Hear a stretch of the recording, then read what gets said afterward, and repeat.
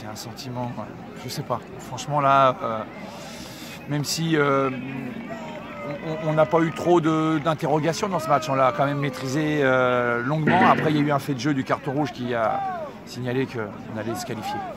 Et donc voilà, on a eu le temps de se préparer à une victoire. Donc j'ai un sentiment bah, de plénitude, hein, d'être heureux. Je suis entraîneur depuis la deuxième année ici.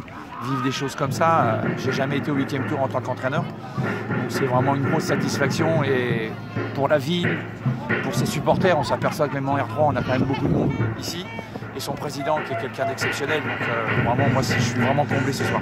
Dès le carton rouge, vous saviez que vous alliez gagner? Ouais. ouais. C'est facile à dire maintenant. Hein. Voilà. Surtout Prével. Déterminant qui sort. Donc là, après, on avait la maîtrise et même si on a mal fini la première mi-temps, on a mal débuté la deuxième, mais euh, on peut faire mieux en plus. C'est ça le pire. C'est que je pense que mon équipe peut beaucoup mieux jouer qu'elle l'a joué aujourd'hui. Le principal, c'était de se qualifier.